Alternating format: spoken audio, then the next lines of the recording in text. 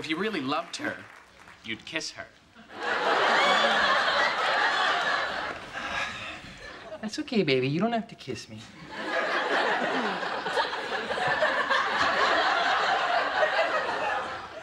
I mean, you know I love. I love you too.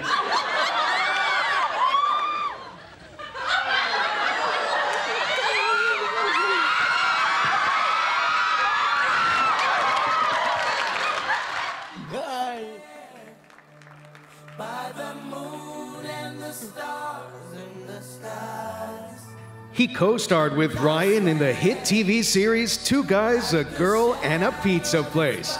Here's fellow Canadian Nathan Fillion.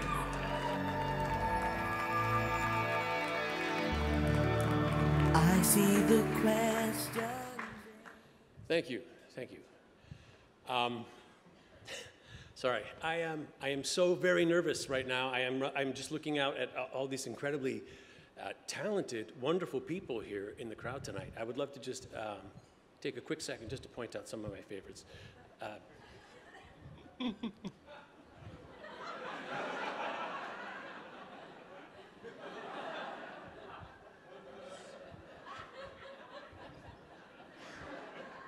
Thank you.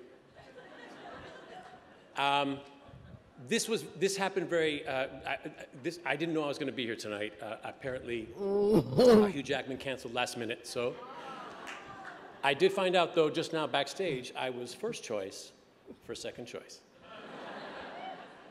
Uh, they didn't give me a lot of time to prepare anything, unfortunately, but luckily enough, I do uh, pre-write eulogies for all my friends, just in case of an emergency.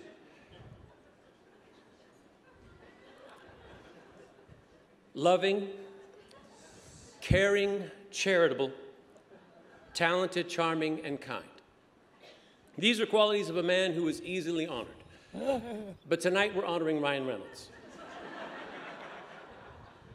Many years ago, a young boy in Canada dreamed of entertaining millions. He set his sights on the United States, and with raw talent and sheer willpower, he made those dreams come true and that boy was Michael J. Fox. Years later, but in a much less impactful way, Ryan did the same thing. And he drew much of his inspiration from Mr. Fox, as well as other comedy legends like Eugene Levy, Martin Short, John Candy, Jim Carrey, and uh, I'm sure probably some American guys too. It is, it is impressive, to say the least, when considering what Ryan has accomplished in his career and the effect he's had on our, our very culture. With, uh, with films like Safe House, Ryan showed us he could contend with acting greats like Denzel Washington. In Red Notice with The Rock and Gal Gadot, he showed us he's not afraid to be the second sexiest person on screen. So sorry, Gal, so close. With Deadpool, he got a generation of tweens grounded for swearing in new and exciting ways. And with the Green Lantern, he taught a nation how to laugh.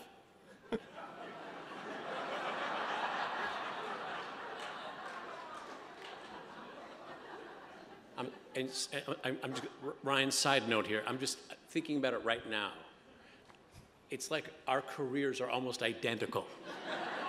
I just, if you think about it, except for the the gin company and uh, the phone company and the soccer team and the blockbuster movies and the charitable endeavors and the nationwide, worldwide recognition. Uh, the star on the Hollywood Walk of Fame, and I'm thinking like a million and a half crunches. But other than that, like looking into a career mirror. Uh, Ryan and I did work together so very long ago, and I remember very clearly the, the only time he ever asked me for career advice. And I said, Ryan, Never, ever get romantically involved with someone you work with. It will never work out, and it can only end in flames. I see Blake Lively's here with us tonight.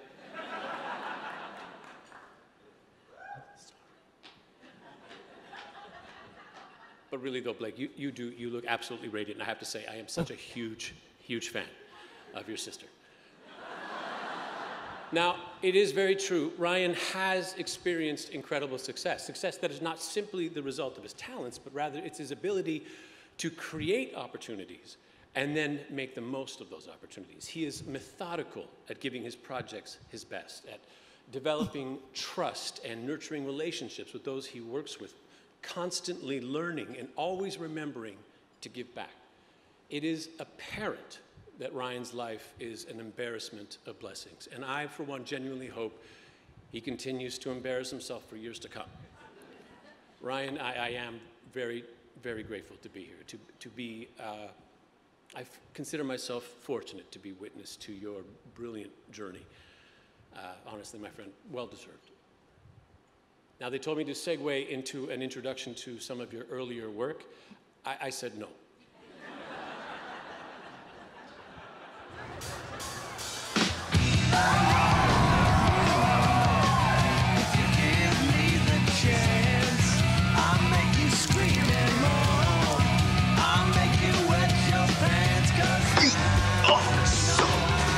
I go by lip shits.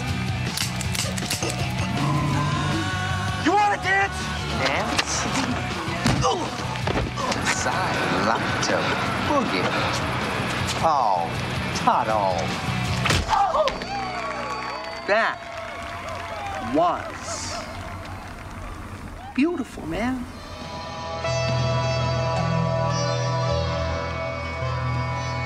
What is that anyway? Well, it is yoga. How does it work? There are different positions called asanas. Some easier and many harder. Why do you do it? Why do you play basketball?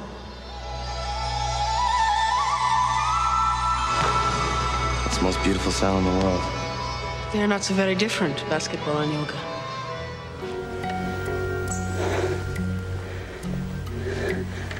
Howard. Howard. Hi. Hi. What are you doing here? I was just gonna grab a snack. I guess that's what you're doing too. I'll be in my room. You and me, right now. Let's get on a train. Oh. Well, What? You still got that A-list boyfriend of yours? no, I don't. But I'm supposed to meet my friends in a half an hour. They're waiting for me. Oh, I forgot. You do everything by committee, right? And I'm gonna go check out the squash. Ow, ow, ow. What's the matter? Something's in my ass. Ow. Am I bleeding? You're fine. Oh, figures that the pain in my ass is Nixon, the fascist. He's your dad's boss. My dad's an arms manufacturer. Aren't you Haldeman's son? No, that's Brad. I'm his roommate at school. He's at the dermatologist. So you don't remember? I remember it like it was yesterday. That's funny. Because we never met.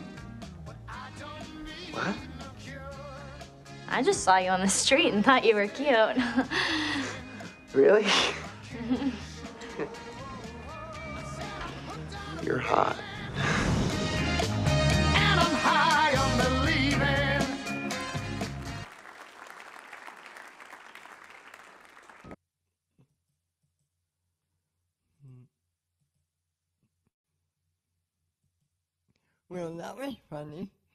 Thank you guys for watching me react to that. I am Ben the Head Geek here at the Multiverse Geekdom. This was kind of an improv moment video reaction. I wanted to do it. I heard Ryan Reynolds and Nathan Fillion were on a video together and I had to tape it. I, I had to. Please click like and subscribe. Follow us on our channel. You can find me on Fellowship of in a few minutes with my partner in crime, Don, and old friend Joe. And yeah, follow us and happy holidays from the head geek. 雷尼